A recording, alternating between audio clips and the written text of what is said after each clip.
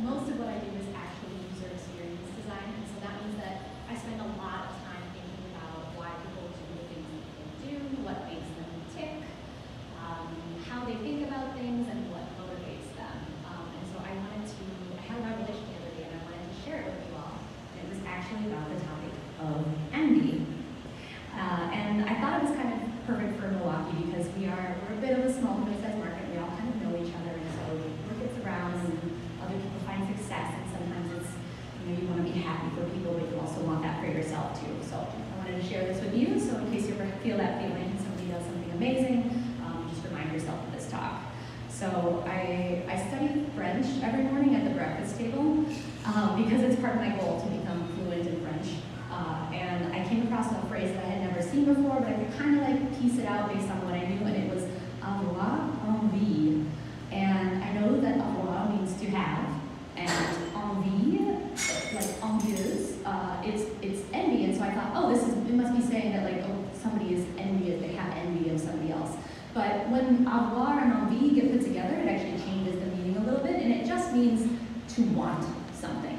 And I thought, oh, yeah, that's actually kind of nice. That's exactly what envy is, isn't it? It's just kind of like it's not the most polite form of wanting, but um, yeah, in a nutshell. But I think as English speakers, we think of envy as like excessively shameful. Like you know, when it when it kind of rises up in you, you kind of like, you gotta check it and push it back down and pretend like everything's fine and smile really wide and be like, oh, you're not really feeling it at that precise moment.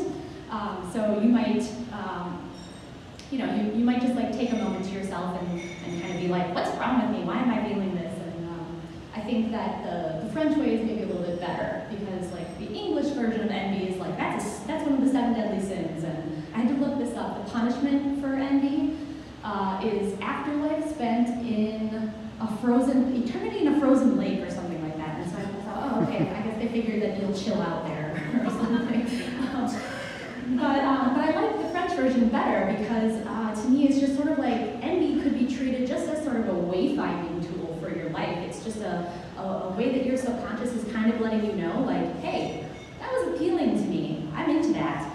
Um, so I, I, I started to think about, like, if we change the way that we think about envy, maybe the advice that comes along with, like, oh, what, what do you do if you feel envy could change a bit because right now there's a million articles about, like, oh, if you feel envy, remind yourself to practice gratitude and, like, remind yourself that one person's opportunity doesn't mean that you will not also be afforded that same opportunity later, or, you know, life is not a competition, and a lot of things that sound a lot to me like denial of feeling, which I'm not about. I, I don't think that's very healthy. Like, it's sort of like, oh, you felt some strong negative emotions, just don't feel them anymore. Help yourself out of it.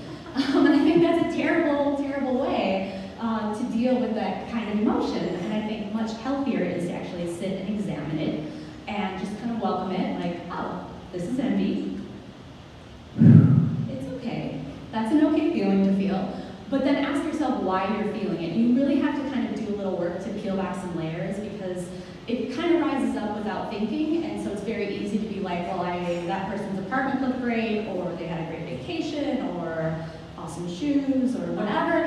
whatever the thing is, but you can't stop there. You kind of have to keep pulling back layers because if you stopped at material goods, or if you've gotten to money, and that's where you stop, and you're just like, oh, I just don't have that much money. Like, you've lost because there's something sitting underneath that that you're actually wanting. And my supposition is that if you peel back far enough, you're going to find one of your three to five core values. And if you don't know what yours are, that's okay, but go home tonight and take time to figure them out because once you know what they are, every decision gets easier. And on top of that, um, when you're putting in the work and you're watching other people succeed and you're thinking like, what am I doing wrong? Or I just keep showing up and like I'm not even really making progress and you're getting discouraged, just remind yourself that, you know, other people's success doesn't mean the same thing as like what, what your concept of success is. So like find the thing, that feeling that you're after, um, and then you'll, you'll know how to put more of that in your life in the meantime. It's really easy to see like really far down the road, um, but it's hard to figure out what the micro steps in between here and there are. So if you figure out your three to five core values, you should be set. So next time, if you're feeling envy, don't feel ashamed. Follow your envy, treat it as a signpost and um, figure out what's sitting underneath